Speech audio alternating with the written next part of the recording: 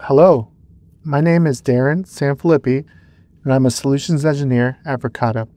This video will cover enabling people and vehicle analytics for your cameras.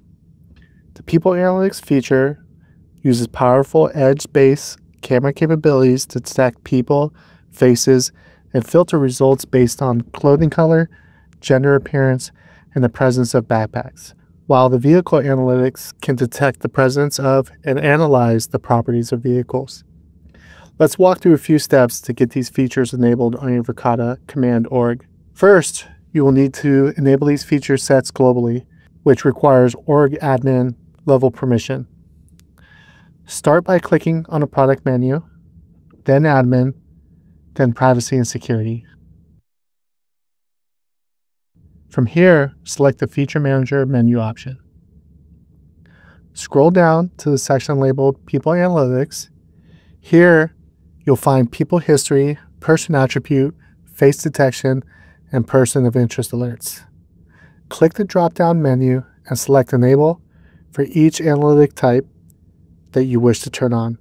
Review any terms and conditions that appear before accepting.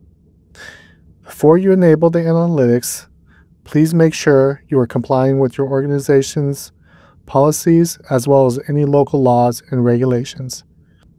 Depending on the jurisdiction in which your command organization is registered, Verkada may not permit you to enable certain analytic features. See the link in the video description to learn more. Next, scroll down to the Vehicle Analytics section. Choose if you'd like to enable vehicle history and license plate recognition. Then scroll down to AI-based search features and enable those as well. Now let's work on enabling people and vehicle analytics on your cameras. Click on the product menu, then cameras. Select the camera you would like to enable these features on. Then click the settings button. Then scroll down to analytics. Now you can toggle on each feature or features that you may need. Note you can toggle on person attribute, face detection, and occupancy trend only when people history is enabled. Choose if you want to toggle on vehicle analytics as well. Click done once finished. You'll now see the people icon appear under the camera's feed. You can also turn on these features on a per site basis or for devices in bulk.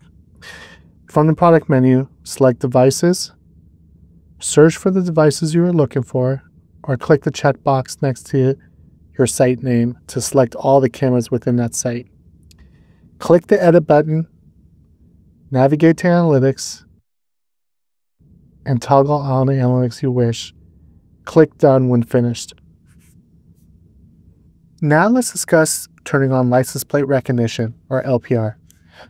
Click the product menu, Cameras, and select the bullet camera you would like to use for LPR. Click the Settings, then Analytics. Next to License Plate Recognition, LPR mode, click Enable. Ensure that the camera image is set to the recommended mounting angles and click Next.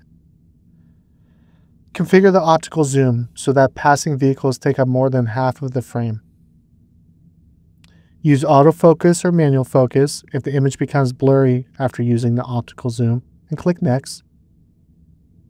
Click and drag a region of interest over the area that the license plates will pass through, and click Next. The selected area must be less than half of the entire frame. Optionally, you can add a context camera to capture the scene for additional angles and the complete picture of vehicle events and finally click Done. Finally, let's turn on AI powered search. From the camera's homepage, click in the search field and you'll see the option to try AI powered search. Acknowledge the terms and conditions. Once accepted, AI based search will be enabled and you can now do freeform search using your own words on almost an unlimited number of person or vehicle related attributes. To learn more about AI powered search, See our video on searching in Verkada Command linked in the description. That's all for this video. Thanks for watching. If you have any further questions, please visit our Knowledge Center or contact our 24-7 support team.